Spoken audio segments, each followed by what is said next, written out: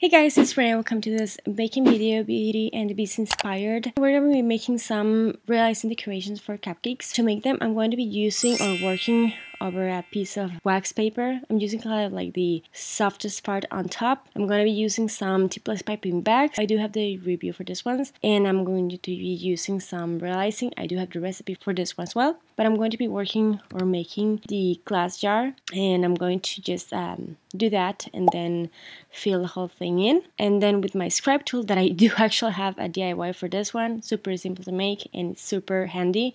I'm just going to smooth the whole surface until it's is uh, crusted. Once it's crusted, I'm just going to be working the base. I'm going to add a small plate and this is how I'm doing it. I'm just going to be adding a small dot. This is going to be like a, the handle of the glass jar. Uh, if you make any mistakes, pretty easy to remove. Just have to remove the part that you don't want anymore with your scribe tool, or you can use a toothpick as well. But it has to be just before your icing dries because it's soft and it's uh, manageable. But yeah, once the whole thing is crusted, I'm just going to be working on the rose itself. For that, I'm going to be adding some pink royal icing. It's just a royal icing with few drops of pink I'm not going to wait for that to dry. I'm just going to go on top with some lighter pink uh, royal icing and uh, those are going to be like the petals of my rose. Once that's um, done, I'm going to be working on the green parts of the rose. For that, I'm going to add a line on the bottom and then two leaves like that. It's pretty handy to just make one uh, scribe tool because as you can see I use it for everything.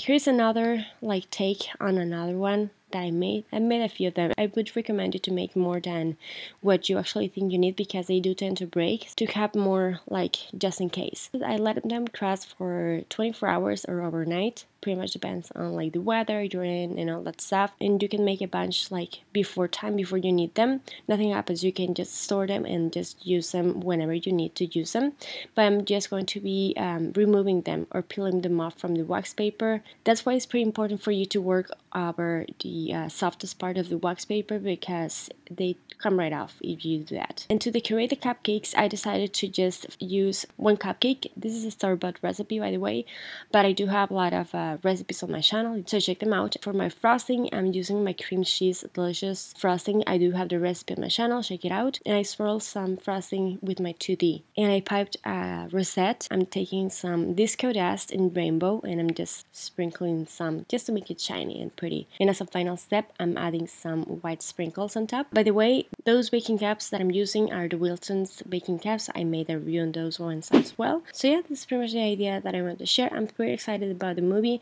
I actually made a DIY polymer clay necklace on my channel if you want to check it out. Hopefully you like my interpretation of the movie right here. If you did, don't forget to give me a thumbs up. Subscribe to my channel for more stuff. Visit cutesimplestuff.com. But yeah, thank you so much for watching. I'll talk later and take care. Bye guys!